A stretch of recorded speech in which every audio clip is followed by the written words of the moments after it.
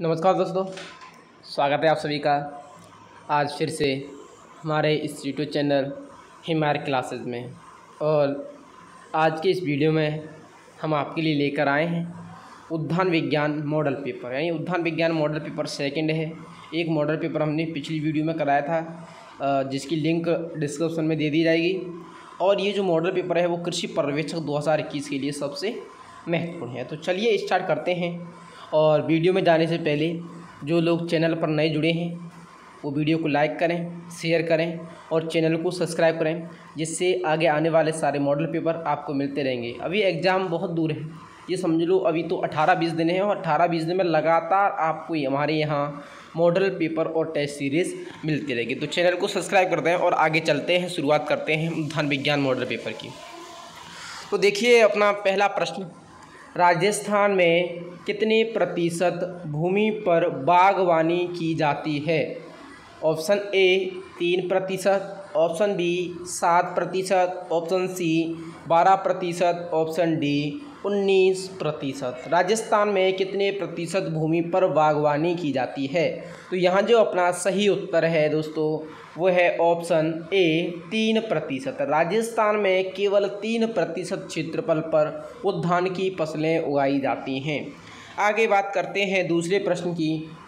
तो दूसरा प्रश्न है, गाजर में लाल रंग का कारण है? गाजर में लाल रंग का कारण है। Option A, carotene. Option B xanthophyll option C anthocyanin option D solanine. तो यहाँ जो दोस्तों अपना राइट आंसर है, वो है ऑप्शन सी एंथोसाइनिन। गाजर में लाल रंग एंथोसाइनिन के कारण होता है तथा पीला रंग कैरोटीन के कारण होता है। आगे हम बात करते हैं अगले प्रश्न की। तो अपना अगला प्रश्न है, आम में आंतरिक फल गलन रोग का कारण है। आम में आंतरिक फल गलन रोग का कारण है। Option A, boron. Option B, sulphur dioxide. Option C, carbon dioxide. Option D, उपयुक्त सभी। आम में आंतरिक फल गलन रोग का कारण है। तो यहाँ जो अपना ऑप्शन है, ऑप्शन ए सही है। आम में आंतरिक फल गलन रोग बोरोन की कमी के कारण होता है। आगे हम बात करते हैं अगले प्रश्न की। तो अपना अगला प्रश्न है के एम एस की कितनी मात्रा परिरक्षण का कार्य करती है? के एम एस की कितनी मात्रा परिरक्षण का कार्य करती है? ऑप्शन ए एक प्रतिशत, ऑप्शन बी ज़ीरो पॉइंट पाँच प्रतिशत, option C zero point zero पाँच प्रतिशत, option D zero option D है, पाँच प्रतिशत। तो यहाँ जो अपना सही उत्तर है, वो है option C zero point zero पाँच प्रतिशत। के एम एस का अर्थ होता है पोटेशियम मेटावाई सल्फाइड। और पोटेशियम मेटावाई सल्फाइड की ज़ीरो पॉइंट तीन से ज़ीरो पॉइंट पाँच प्रतिशत मात्रा परिरक्षण का कार्य करती है। आगे हम बात करते हैं अगले प्रश्न की। तो अगला प्रश्न है, फल परिरक्षण में किस विटामिन का उपयोग होता है? फल परिरक्षण में किस विटामिन का उपयोग होता है? Option A, vitamin A, option B, vitamin B, option C, vitamin C, option D, vitamin K. तो यहाँ जो अपना सही उत्तर है वो है ऑप्शन सी, विटामिन सी। फल परिरक्षण में विटामिन सी का उपयोग किया जाता है। आगे हम बात करते हैं अगले प्रश्न की। तो अगला प्रश्न है, केचप में कुल घुलनशील ठोस पदार्थ की मात्रा होती है। केचप में कुल घुलनशील ठोस पदार्थ की मात्रा होती है। ऑप्शन ए, अड़सठ प्रतिशत, ऑप्शन बी, पैंसठ प्रतिशत, ऑप्शन सी, चवालीस प्रतिशत, ऑप्शन डी, तीस प्रतिशत। तो यहाँ जो अपना सही उत्तर है, वो है ऑप्शन डी, तीस प्रतिशत। केचप में अट्ठाईस से तीस प्रतिशत टी एस एस या कुल घुलनशील ठोस पदार्थ पाया जाता है। आगे हम बात करते हैं अगले प्रश्न की। तो अगला प्रश्न है, पर्णपाती पौधों में प्रूनिंग की क्रिया की जाती है।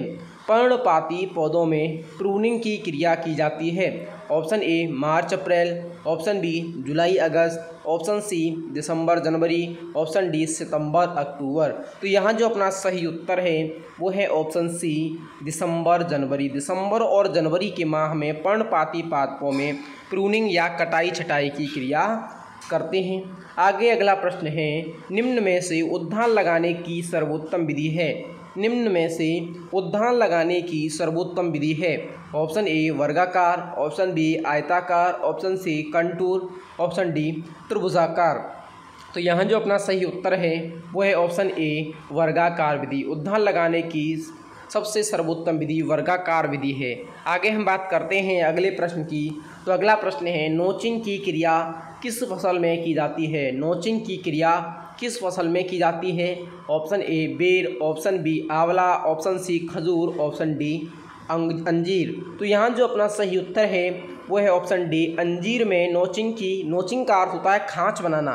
और खाँच बनाने की जो क्रिया की जाती है, वो अंजीर में की जाती है। आगे हम बात करते हैं अगले प्रश्न की। तो देखिए अपने यहाँ फाउंडेशन चल रहा है जिसमें जो विद्यार्थी ट्वेल्थ और इलेवेंथ में पढ़ रहे हैं, वो मात्र बारह हज़ार रुपये में school fees plus coaching plus JET ICR की तैयारी कर सकते हैं। विद्यार्थी मात्र बारह हज़ार रुपये में इलेवेंथ, ट्वेल्थ के साथ जेट आई का फाउंडेशन ले सकते हैं और जिसके एडमिशन अभी चालू हैं, यदि आपके परिवार में या आपसे संबंधित कोई व्यक्ति है तो उसे एडमिशन के लिए ज़रूर भेजिए। अपना कॉन्टैक्ट नंबर है, यहाँ कॉल करके आप और भी जानकारी ले सकते हैं। तो चलिए हम बात करें अगले प्रश्न की ओर। तो अपना अगला प्रश्न है पेड़ पौधों को आधुनिक आकृतियाँ देना कहलाता है। पेड़ पौधों को आधुनिक आकृतियाँ देना कहलाता है। Option A, bonsai. Option B, topiary. Option C, सदाई। ऑप्शन डी, निफिन। तो यहाँ जो अपना राइट आंसर है वह है टोपियरी जब पेड़ पौधों को कृत्रिम आकृतियों जैसे घोड़ा, हाथी, बंदर की आकृतियों बनाया जाता है तो उसको क्या कहते हैं? टोपियरी कहते हैं। आगे हम बात करें अगले प्रश्न की। तो अगला प्रश्न है, आम में पुष्पन की क्रिया किस माह में होती है? आम में पुष्पन की क्रिया किस माह में होती है? ऑप्शन ए, अप्रैल ऑप्शन बी दिसंबर, ऑप्शन सी जुलाई, ऑप्शन डी अक्टूबर। आम में पुष्पन की क्रिया किस माह में होती है? ऑप्शन ए अप्रैल, ऑप्शन बी दिसंबर, ऑप्शन सी जुलाई, ऑप्शन डी अक्टूबर। तो यहाँ जो अपना सही उत्तर है, वो है ऑप्शन बी दिसंबर। आम में दिसंबर माह में पुष्पन की क्रिया होती है। आगे हम बात करें अगले प्रश्न की। तो अगला प्रश्न है, निम्न में से क्लाइमेट्रिक फल नहीं है। निम्न में से क्लाइमेट्रिक फल नहीं है। ऑप्शन ए, पपीता, ऑप्शन बी, अंगूर, ऑप्शन सी, सेब, ऑप्शन डी, बेर। तो यहाँ जो अपना सही उत्तर है, वो है ऑप्शन डी, बेर। बेर क्लाइमेट्रिक फल नहीं है, बेर नॉन क्लाइमेट्रिक फल है। आगे हम बात करें अगले प्रश्न की। तो अगला प्रश्न है, निम्न में से क्लाइमेट्रिक यही क्वेश्चन आगे दोबारा से एक मिनट। अगले प्रश्न की बात करते हैं। तो अगला प्रश्न है उष्ण जलवायु का सेव किसे कहा जाता है? उष्ण जलवायु का सेव किसे कहा जाता है? ऑप्शन ए बेर ऑप्शन बी, अमरूद, ऑप्शन सी पपीता, ऑप्शन डी, आम। तो यहाँ जो अपना सही उत्तर है, वो है बे, अमरूद। अमरूद को एप्पल ऑफ़ ट्रॉपिक्स या उष्ण जलवायु का सेव कहते हैं। आगे हम बात करें अगले प्रश्न की ओर। तो अगला प्रश्न है, बील किस कुल का पादप है? बील किस कुल का पादप है? Option A, Boraginaceae. Option B, Rhamnaceae. Option C, Rutaceae. Option D, Palmaceae. तो यहाँ जो अपना सही उत्तर है, वो है ऑप्शन सी, रूटेसी। बील रूटेसी कुल का पादप होता है। आगे हम बात करते हैं अगले प्रश्न की। तो अगला प्रश्न है, आम की किस किस्म के फल बेर जैसे होते हैं? आम की किस किस्म के फल बेर जैसे होते हैं? बेर और सेवे की बात है। Option A, Chausa option B Neelam, option C Rumali, option D Langra आम की किस किस्म के फल बेर जैसे होते हैं? तो यहाँ जो अपना राइट आंसर है, वो है ऑप्शन सी रूमाली आम के रूमाली किस्म के जो फल हैं, वो बेर या सेब जैसे आकार के होते हैं। आगे हम बात करें अगले प्रश्न की ओर। तो अगला प्रश्न है, निम्न में से किस पादप के फलों को धूप में सुखाया जाता है? निम्न में से किस पादप के फलों को धूप में सुखाया जाता है? ऑप्शन ए आंवला, ऑप्शन बी खजूर, ऑप्शन सी आम, ऑप्शन डी बेर। तो यहाँ जो अपना सही उत्तर है, वो है ऑप्शन बी या खजूर। बेर धूप में सुखाना अर्थात सन क्यूरिंग और सन क्यूरिंग की जो क्रिया की जाती है, वो खजूर में की जाती है। आगे हम बात करते हैं अगले प्रश्न की ओर। तो अगला प्रश्न है, अनार की अनार की आई आई एच आर द्वारा विकसित किस्म है। अनार की आई आई एच आर द्वारा विकसित किस्म है। Option A Arakta option B, Mridula, option C, Ruby, option D, Bhagwa, Sinduri. अनार की आई आई एच आर द्वारा विकसित किस्म है। तो यहाँ जो अपना सही उत्तर है, वो है ऑप्शन सी, रूबी। रूबी किस्म अनार की आई आई एच आर द्वारा विकसित किस्म है। आगे हम बात करते हैं अगले प्रश्न की ओर। तो अगला प्रश्न है, गेंदा की बीज दर होती है।